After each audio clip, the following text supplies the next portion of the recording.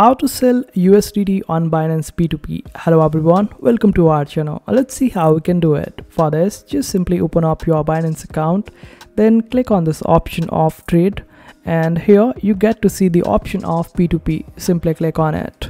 And here make sure that you select the option of sell instead of buy to start selling your USDT and also select USDT over here then in case if you want to utilize these filters then you can go with it. Like the amount of USD that you are looking to uh, get.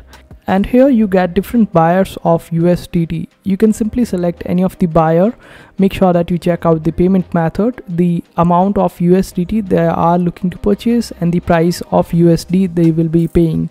And also check out the feedback because it is quite important for you after selecting any particular buyer, simply click on sell USDT.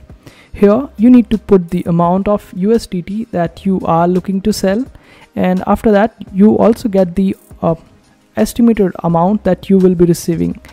Then select the payment method here and this way the amount will be uh, sent to your bank account or the option that you have chosen in our previous step. And this way when you sell the USDT the buyer will send the money to your bank account or your bank wallet whatever you have chosen. And this way you will be able to sell your USDT on Binance. I hope this video was helpful. Make sure to hit that like button and also subscribe to our channel for more helpful videos